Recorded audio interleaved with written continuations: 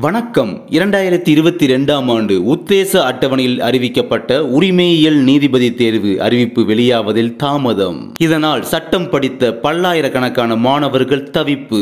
TNPSC தேர்வை விரைவில் நடத்த கோரிக்கை. இதை பற்றி முழுவதுமாக காணலாம். இது குறித்து தேர்வுக்கு தயாராகும் மாணவர்கள் கூறுகையில் புதுச்சேரியில் பதினாறு உரிமையியல் நீதிபதி பணியிடங்களுக்கான முதல்நிலை தேர்வு வருகின்ற ஜூன் மாதம் மூன்றாம் தேதி வெளியிடப்படும் என்று அறிவிக்கப்பட்டுள்ளது. இதேபோல கேரளா மாநிலத்தில் ஐம்பது ஐம்பத்தி ஆறு உரிமையியல் நீதிபதி பணியிடங்களுக்கு வருகிற மே மாதம் பதினான்காம் தேதி முதல்நிலை தேர்வு நடைபெறும் என்று அறிவிக்கப்பட்டுள்ளது. ஆனால் தமிழகத்தில் டிஎன்பிஎஸ்சியால் கடந்த ஆண்டு ஓராண்டு கால அட்டவணையில் தேர்வு நடத்தப்படும் என்று தெரிவிக்கப்பட்டது. ஆனால் இதுவரை எந்த ஒரு அறிவிப்பும் வெளியிடப்படவில்லை. இதனால் அரசு வேலைகளுக்கான போட்டித் தேர்வுகளுக்கு தயாராகி வரும் லட்சக்கணக்கானோர் பாதிக்கப்பட்டுள்ளனர்.